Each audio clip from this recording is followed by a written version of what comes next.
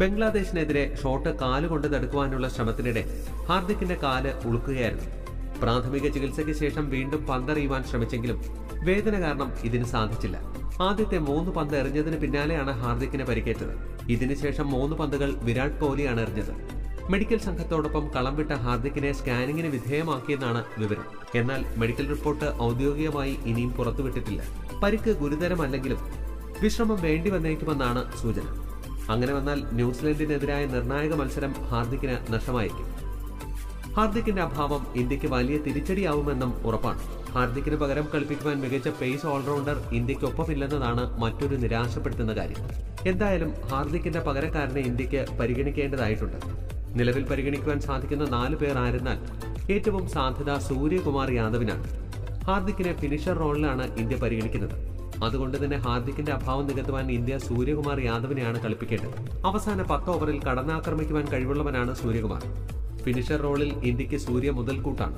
എന്നാൽ സ്ഥിരതയോടെ കളിക്കുന്ന വിശ്വസ്തനായ താരമാണെന്ന് പറയാനാവില്ല. അതുകൊണ്ടാണ് ആദ്യത്തെ നാല് മത്സരങ്ങളിലും ഇന്ത്യ സൂര്യയെ കളിപ്പിക്കാതിരുന്നത്. സൂര്യകുമാറിനെ കളിപ്പിച്ചാൽ ബാറ്റിംഗ് കരുത്ത് പരിഗണിച്ച് ഇഷാൻ കിഷനെയും പരിഗണിക്കുവാൻ സാധ്യതയുണ്ട്. ഇടം കയ്യൻ വിക്കറ്റ് കീപ്പർ ബാറ്റ്സ്മാനായ ഇഷാനെ അഞ്ചാം നമ്പറിലോ ആറാം നമ്പറിലോ കളിപ്പിക്കാം. എന്നാൽ വിശ്വസ്തനായ ഫിനിഷർ എന്ന് പറയുവാൻ സാധിക്കാത്തതിനാൽ ഇഷാനെ ഇന്ത്യ തഴയുവാനാണ് സാധ്യത കൂടുതൽ. ഇതിൽ ഏറ്റവും അനുയോജ്യം സൂര്യകുമാർ യാദവിനെയും മുഹമ്മദ് ഷമിയെയും കളിപ്പിക്കുന്നതാണ്. ഷമി കൂടി വന്നാൽ ഇന്ത്യയുടെ പേസ് നിര കൂടുതൽ ശക്തമാവും. നിലവിൽ ഇന്ത്യയുടെ ബാറ്റ്സ്മാൻമാരെല്ലാം മികച്ച ഫോമിലാണ് അതുകൊണ്ട് തന്നെ ഇന്ത്യ വാലറ്റത്തിന്റെ ബാറ്റിംഗിനെ വലുതായി ആശ്രയിക്കേണ്ട സാഹചര്യവുമില്ല.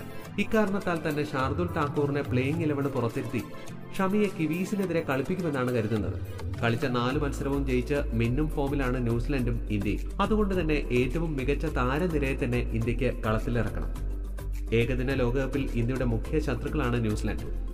രണ്ടായിരത്തി പത്തൊൻപതിലെ ലോകകപ്പ് സെമിയിൽ ഇന്ത്യയ്ക്ക് മടക്ക ടിക്കറ്റ് നൽകിയത് ന്യൂസിലൻഡാണ്. ഈ സാഹചര്യത്തിൽ ഇന്ത്യ രണ്ട് മാറ്റങ്ങൾ പ്ലേയിങ് ഇലവനിൽ കൊണ്ടുവരേണ്ടതായി വരും. ഹാർദിക്കിന് പകരം ആർ അശ്വിനെ കളിപ്പിക്കുവാനും സാധ്യതയുണ്ട്. ആർ അശ്വിൻ സ്പിൻ ഓൾറൗണ്ടറാണ് എന്നാൽ ബാറ്റിംഗിൽ വിശ്വസ്തനാണെന്ന് പറയുവാൻ സാധിക്കാത്തതിനാൽ ഇന്ത്യ അശ്വിനെ പരിഗണിക്കുവാൻ സാധ്യത കുറവുമാണ്.